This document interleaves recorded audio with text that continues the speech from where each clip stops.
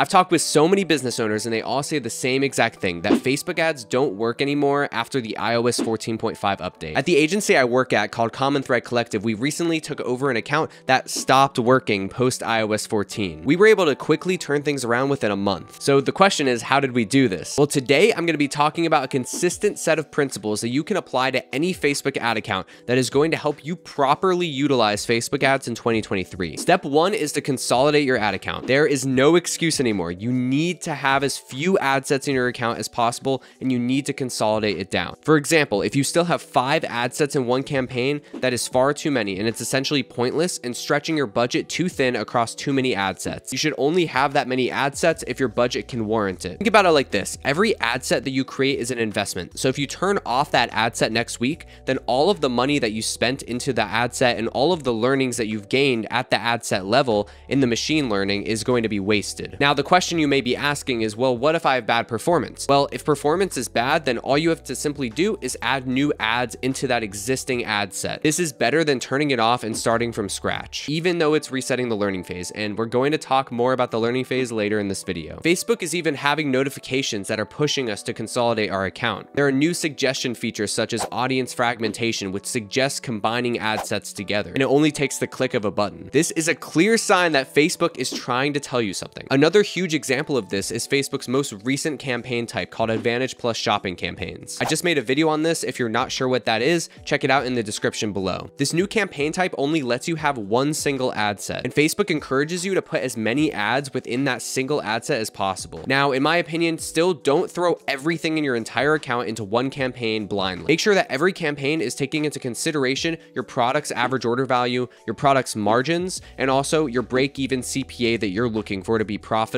within that campaign. If your offers all have wildly different average order values, that can potentially screw up your bid in the auction and screw up your CPA that you end up getting. CPA being your cost per acquiring a customer or cost per acquisition. So you may be asking, how do I know how many campaigns I should have running in the ad account? That brings me to step two. If you want to run Facebook ads in 2023, you need to be willing to make an investment. Every ad set that's inside of your ad account needs to be getting the adequate budget to exit the learning phase and optimize within one week. The formula for your budget is 50 conversion events times your cost per acquisition divided by seven days in a week equals your daily budget per ad set. That's not per campaign, it's per ad set in particular. So if you have two ad sets within one campaign, you need to make sure you have enough budget to support both of those ad sets. I think if you really want to give Facebook a fair shot, you need to give it at least 5 to 10k a month. The more you can spend, the faster you can learn and get your ads optimized. Remember, this is an auction, so if someone is spending more than you, they're going to beat you out if they have better ads. Make sure you do a lot of testing in the beginning to figure out what works well for your brand, and then slowly continue to iterate on best performing concepts and slowly improve your performance through better creatives. Don't start running Facebook ads until you actually invest time and effort into creating a strategy for your business. Please, before you start burning money on Facebook ads, make sure that you've done a significant amount of competitive research and target audience research as well. Also, make sure you have enough creative assets that can support a creative strategy that will help move you forward and scale. All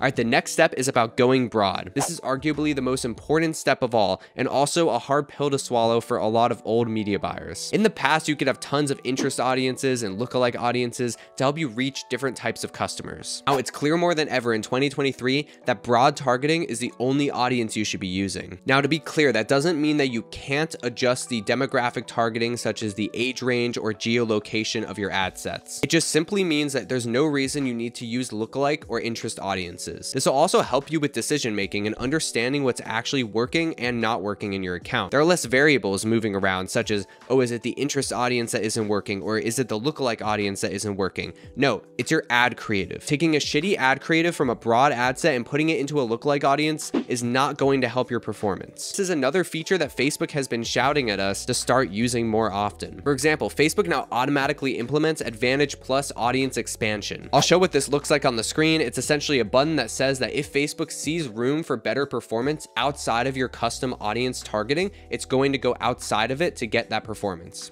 This essentially is the same thing as going broad. Now you see where I'm going with this. It's another example of Facebook forcing its best practices on us. In some accounts, this is an optional switch that you can turn on, but in some accounts, it's automatically applied. And in Facebook's new campaign type I already discussed in this video called Advantage Shopping Campaigns, broad targeting is the only option because it's forcing its best practices on you. The only adjustment that you can make in Advantage Shopping Campaigns is your location. Another great example of this that we all know about is every time you enter your Facebook Ads Manager, you see at the top of the screen a notification that says that interest audiences are being phased out. This is because these types of audiences, while they can have decent performance for a very finite period of time, they eventually fizzle out. I want to bring this up because I've noticed that you can absolutely get short-term success from lookalike and interest audiences. I don't want to say that they never work at all, but what they are is a depreciating investment. As you invest into these ad sets, they eventually will fizzle out because they have a finite audience. I've noticed these audiences giving brands short-term success for finite periods of time. And the issue there is that you can't incrementally improve your performance. That audience is going to run out. And once that happens, it frankly leaves you scrambling to figure out what to do next. While when you go broad, you have the opportunity for your ad set to infinitely get smarter and actually get better at identifying new customers. What you want to have is a stable, consolidated ad account on broad targeting where you can incrementally improve your performance through better creative strategy and understanding exactly what's moving the needle in your ad account. Having all these different things like interest and lookalike audiences are just confusing and distracting, and excuses if you can't get good performance on broad targeting. All right, we're gonna talk about it. Step four is the learning phase. This is another thing that media buyers worry about way too much. Although it's very important for reasons that I'll touch on, you need to understand that your Facebook ad account is always in the learning phase. And so many people are afraid to ever reset an ad set and go back into the learning phase once you've exited it. However, if you have shitty performance in a campaign, taking a new winning ad that's gonna help increase that performance and putting it into the campaign is a great decision, even though it's resetting the learning phase. Don't get me wrong, the learning phase is still important, and here's why. As we talked about with our budget, you wanna get as many conversion events in a week as possible. Specifically, Facebook suggests 50 within a week. I know this is tough, but if your ads are not driving the performance you're looking for, you need to go back to the drawing board and really dial in your creative strategy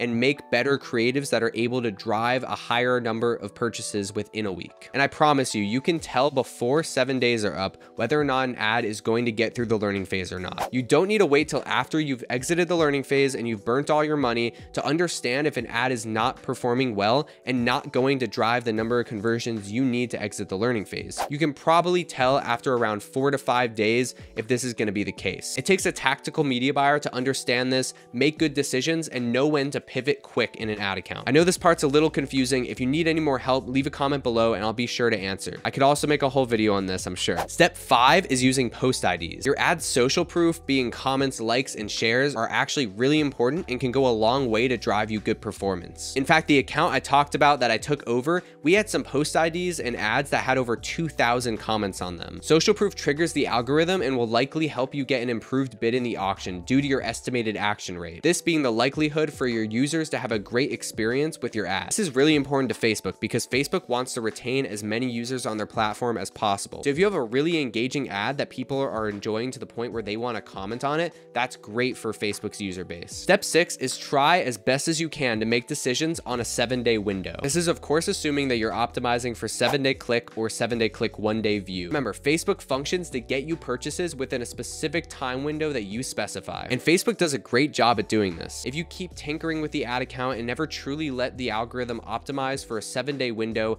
then you're preventing it from doing its job effectively. Now, I know this is a little contradictory to what I just said about the learning phase. While you shouldn't be afraid to go back into the learning phase, it's really important to take all of this information into consideration heavily and understand how Facebook works. Understanding everything will help you make better decisions and understand when the best time to pivot is. I try to make all my decisions on a four to seven day window at the minimum. Also, make sure you understand what actions in the ad account will reset the learning phase. If you set your budget any higher than 20% above or below what your daily budget currently is, that may reset the learning phase. Also, any changes to your targeting, your ad set, or your ads at all is going to reset the learning phase as well. In general, err on the side of not touching your ad account as much as possible. Be patient, monitor your account closely, and make highly calculated decisions infrequently. All right, we're on the last step, and it is step seven, creative strategy and testing. You need to make sure that you have a very effective creative strategy that touches on your target audience's demographic, their customer profile, and their psychology. Really dig into who your customer is and what what type of language resonates with them. Seek immense understanding of who your customer is. Ask yourself questions such as, what is the level of market awareness that my customer has in my niche and industry? What's your customer's existing desires that you can tap into through your advertising, placing your product as the solution to their problems? I actually just made a video about how you can analyze your competitors' ads to form a really strong creative strategy. Also check that out in the description below. If you follow this consistent set of principles, you will see better performance in your ad account in 2023. If you're fighting against these best practices that Facebook is blatantly telling you to use, then you are going to continue having trouble using the platform. Thank you so much for watching this video. Leave a like, a comment if you have any questions. I'll be sure to answer and maybe even make a video about it. And consider subscribing for more content just like this on a weekly basis. Thanks for watching and I'll see y'all in the next video. Peace.